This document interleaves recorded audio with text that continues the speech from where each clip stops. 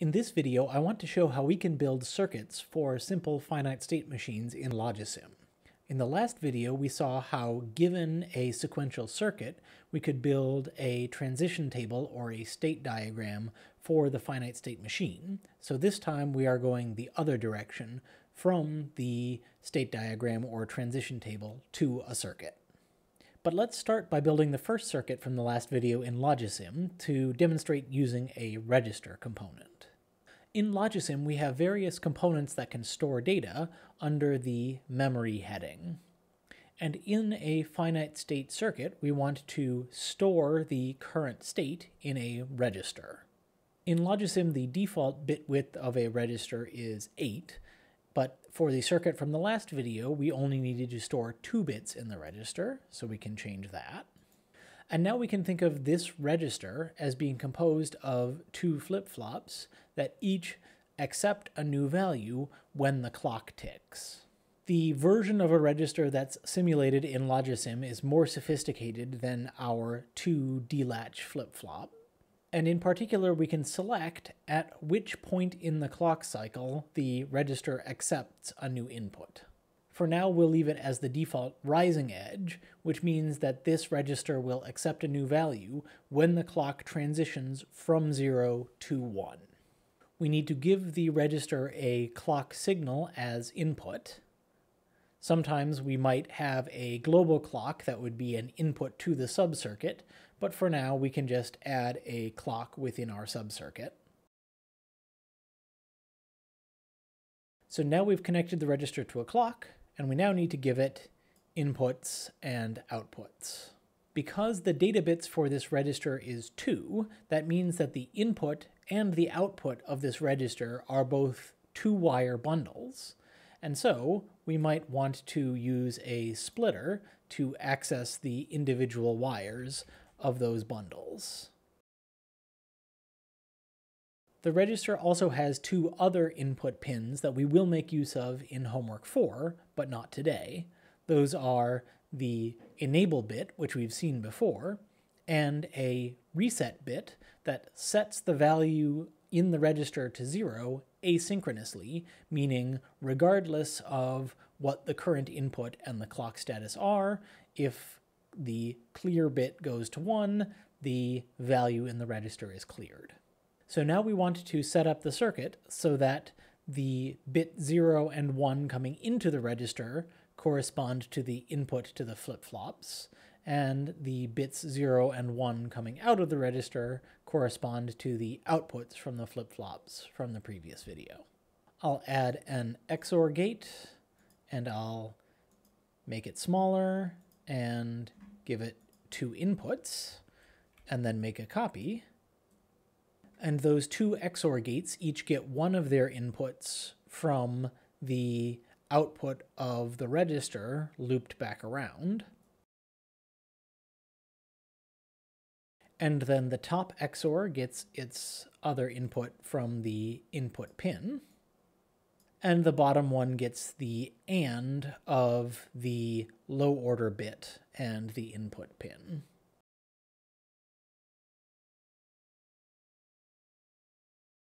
We can clean that up a bit and connect the XORs into the register. And then we add our output pin, which connects to the high order bit from the register. And now that we've implemented this circuit in Logisim with a register, we can use the poke tool to advance the clock and see how this finite state circuit transitions from one state to the next. The state here is represented by the value stored in the register, and as we saw in the previous video, if the input to the circuit is zero, then when the clock ticks, that has no effect on the state. The finite state machine remains in whatever state it was in, as long as the input is 0. But if the input is 1, now when the clock ticks, the state will transition from 0 to 1. And on the next clock cycle, it'll transition from 1 to 2, and then from 2 to 3. And if the input is 0, again, further ticks of the clock don't change the state. But then if we get another input of 1 and the clock ticks, our next state is 0. So we can think of this circuit as implementing a 2-bit counter. It is counting the number of time steps on which it has had an input of 1, but it is counting mod 4 because it rolls back to 0 every time it counts past 3. Let's move on to the more interesting finite state machine from the previous video, the one that was trying to recognize the specific sequence of inputs 1, 0, 1, and output a 1 whenever that was the sequence of most recent inputs, and output 0 the rest of the time. As we saw, we can build a state transition table for this finite state machine, and we could think of this state transition table as a truth table from which we could build a circuit. For example, when the state is 1 and the input is 0, we want the next state to be 2, and so we could set up circuitry such that when the output of the register is 0, 1, and the input is 0, then we want the next input to the register to be 1, 0. Here I've started to construct a circuit based on this state transition table. The idea here is that these eight AND gates are each detecting one of the possible combinations of a state and an input. For example, if we set the state to 0 and the input to 1, that will cause this AND gate to output a 1, and we could then build circuitry that ensures that when this AND gate outputs a 1, we should be giving to the register a next state of 1, because we are in state 0 and the input is 1, and so we want to give 0, 1 into the register so that that will be the circuit's next state. But this seems like an extremely tedious way of building a circuit from a state transition table, and so we should think about whether there is a simpler way that we could achieve the same task. And luckily there is. This sequence of eight AND gates that are detecting all of the possible combinations of inputs looks a lot like the internals of an eight-way multiplexer. So we can instead build a version of this circuit that is based on an eight-way multiplexer. Again, we'll start with a register, and we'll set the register's data bits to 2, and we'll give the register a clock signal as input. And we'll put a splitter on the output of the register so that we can determine the output for the circuit. In particular, we want this circuit to output a 0 if it's in state 0, 1, or 2, and output a 1 if it's in state 3. And so, from the two bits of the state, we can AND them together, and only when they are both 1 should we be outputting 1 from the circuit as a whole.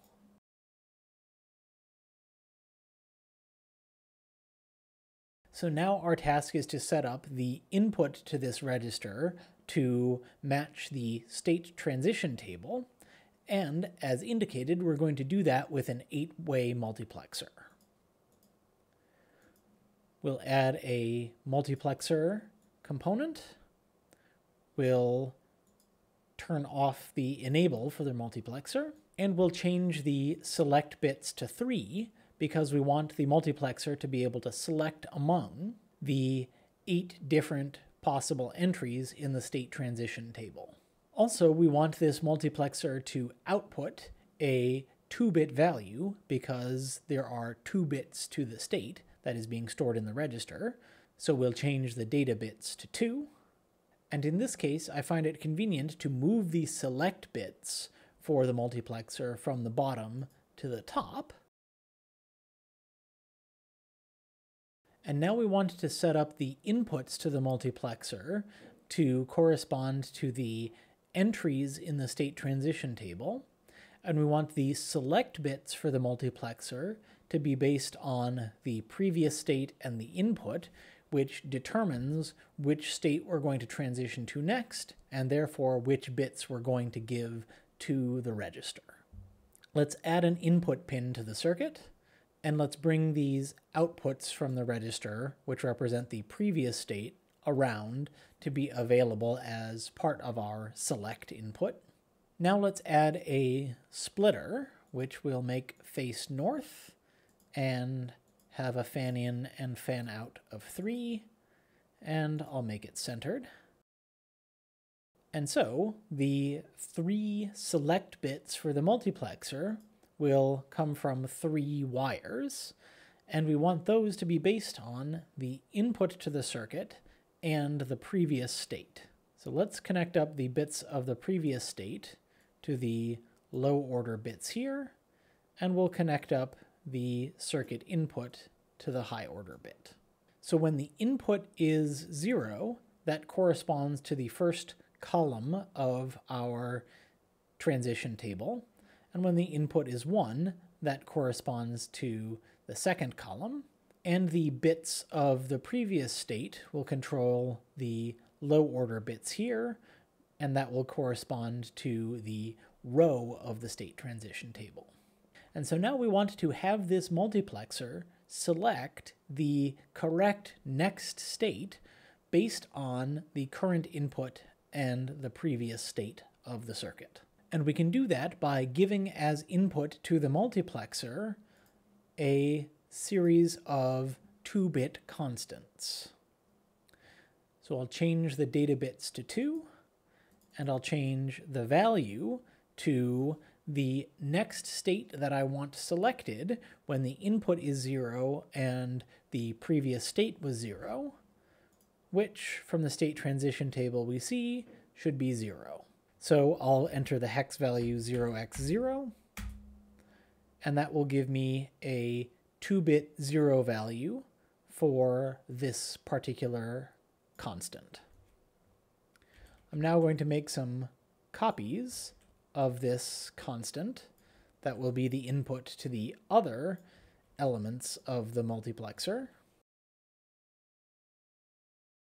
And I probably need to give myself a bit more room to work.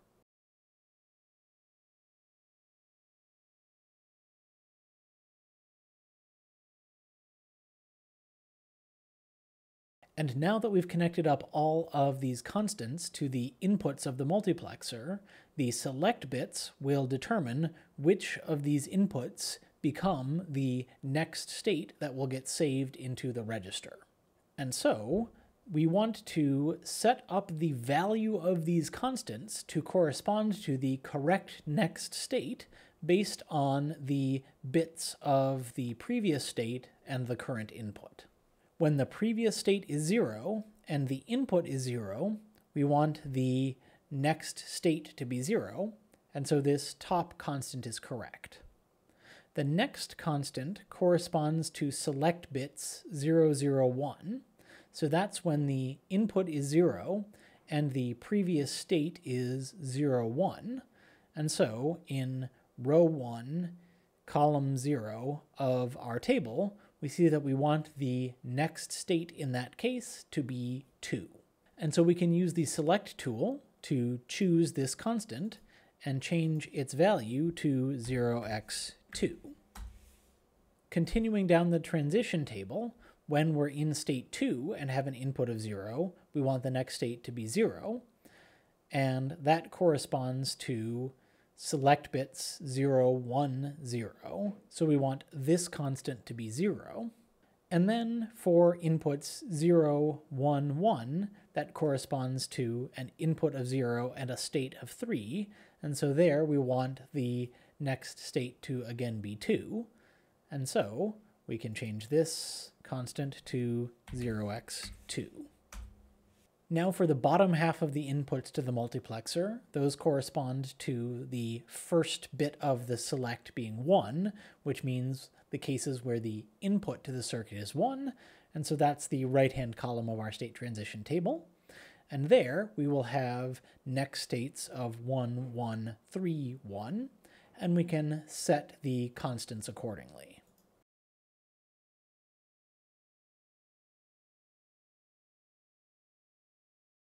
And now our multiplexer is selecting among constants that correspond to the next states from our transition table, and so it should be the case that when we tick the clock, we get a sequence of states that correspond to what we would expect following the state transition diagram for the finite state machine. We start in state 0, and if the input is 0, then when the clock ticks, we should stay in state 0. Let's verify that. No change of the value stored in the register. But if we're in state 0 and we see an input of 1, then we should transition to state 1. So let's change the input, and now we'll tick the clock. And our register is now storing a 1, so our circuit has transitioned to state 1. From this state, if we see another one, we should stay in the same state. So ticking the clock again should keep the register at 1, and it does. And if we see a 0, then we should transition to state 2.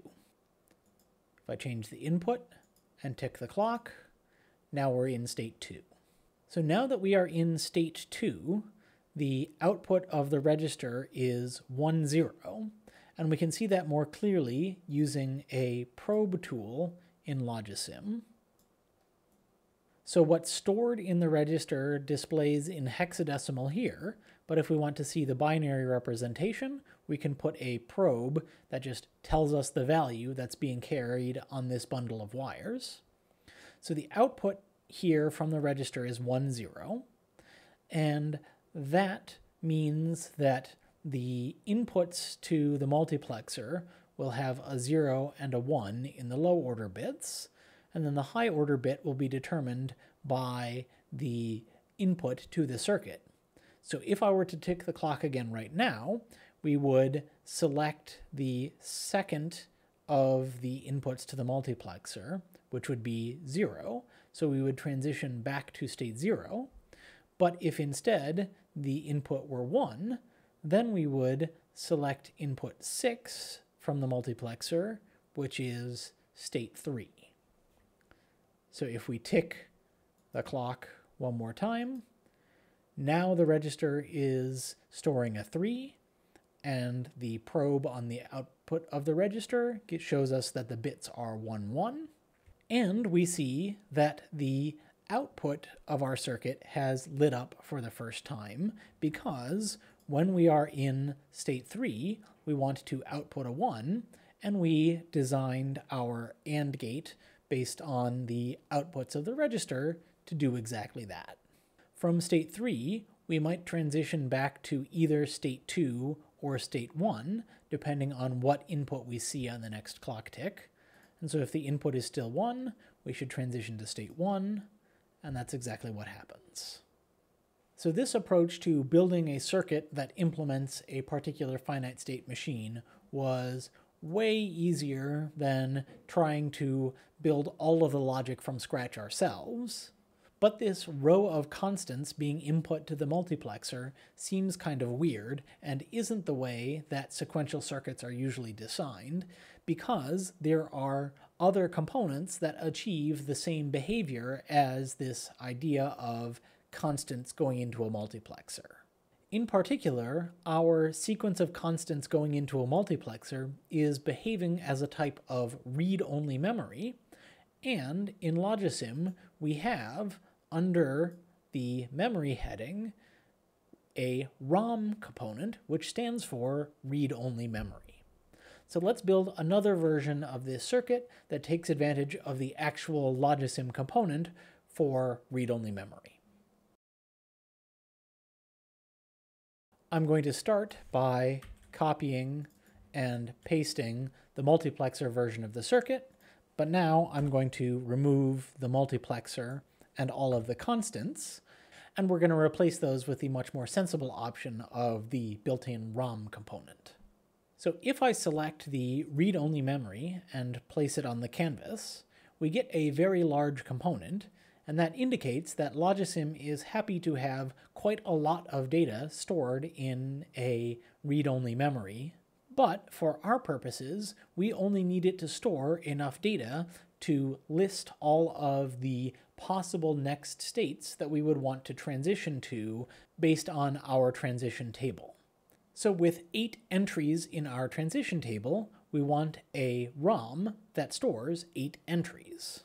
If we select our ROM component and edit its attributes, we see that the address bit width is one of the things we can modify, and that corresponds to the size of the bundle that comes in on this address wire. For our current purposes, this address wire corresponds to the select bits of the multiplexer version we just built. And so if we set this bit width to 3, that corresponds to our three select bits from the multiplexer version of the circuit. And when we set this bit width to 3, we now see that there are only 8 distinct values being stored in the ROM, which corresponds to the eight constants that we had in the previous version of the circuit. So now let's highlight all of these and drag them over to where we can connect up what was our select bits to the address input of the ROM. And now that the ROM is receiving an address input, it is highlighting that the thing it is going to output is what is at this location. But if we toggle the input bit to 1, then the bundle of three bits coming in on the address wire now has the value 100, and so the ROM is indicating that it will output the data at address 4. And if we connect the output of the ROM to the input of the register, we get incompatible widths, because each of the values being stored in the read-only memory is a two-digit hex value, meaning 8 bits, and our register is only expecting 2 bits of input, so we can select the ROM and change the data bit width, that is the output from the memory, to 2. And now we have 8 entries that are all each storing just 2 bits of data, and our output bundle from the ROM matches up with the input bundle for the register. So the current status of this circuit corresponds to the multiplexer version of the circuit when we had eight constants that all had the value zero going into the multiplexer because all of the values stored in the read-only memory are currently zero. So what we need to do now is change the values stored in the memory to correspond to the values from our state transition table so that, for example, when the ROM outputs the data at address 100, it will output a 1. We change the data that's stored in the ROM by right-clicking and choosing Edit Contents. I just experienced a Logisim crash and unfortunately hadn't saved, so I had to recreate the entire circuit. So let this serve as a reminder to you that you should be saving frequently while working in Logisim. But luckily I did figure out how to change the color scheme so that when we edit the contents of the read-only memory, you can now see what I'm doing. What we want to do now is fill in this read-only memory with the same sequence of values that we gave as the constants to the multiplexer in the last circuit, and so in this hex editor, I want to change the values to correspond to the first column of the table, followed by the second column of the table. And unfortunately, when I close the window, it doesn't automatically update the ROM with the values that I entered. So instead, what I'll need to do is when we edit the contents, we can save this to a file. I'll save it to a file on my desktop called 101 Recognizer ROM.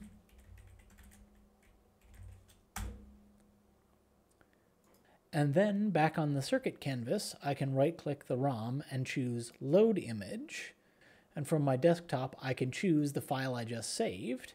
And so now we've loaded the contents of the read-only memory with the columns of the state transition table. So now if we simulate time steps of this circuit, when the clock ticks with input 0, we stay in state 0.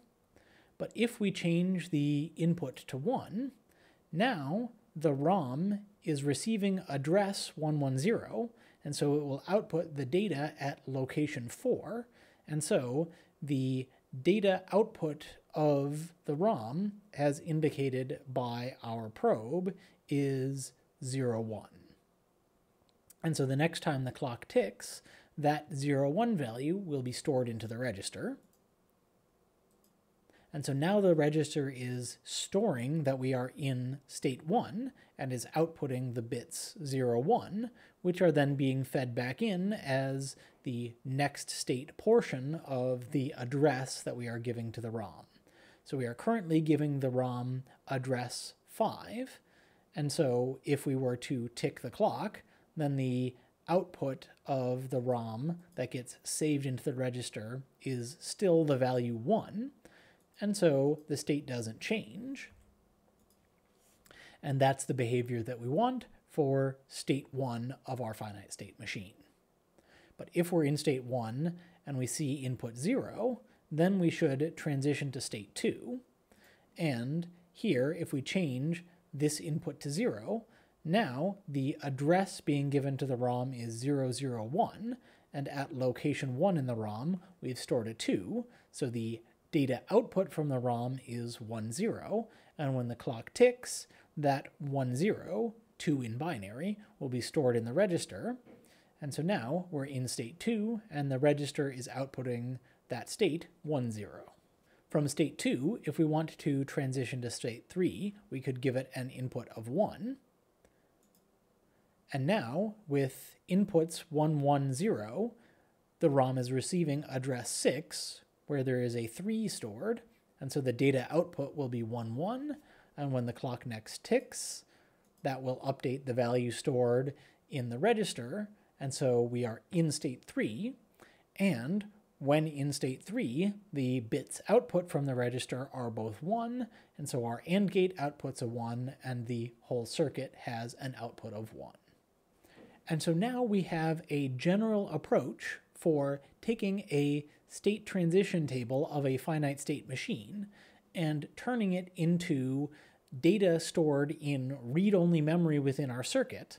And then we can use the information that governs the transition table, namely the state and the input, as the address bits to the read-only memory, which will then tell us, based on the state and input, what should be our next state that gets stored in the register representing the current state of the circuit. And in homework 4, we will use exactly this approach to build the control circuitry that governs the behavior of the entire simulated CPU. And the primary task that you will need to implement is figuring out for the CPU control circuitry that we want to implement, what do we need to put in the read-only memory so that the state transitions operate correctly to govern the behavior of the entire CPU.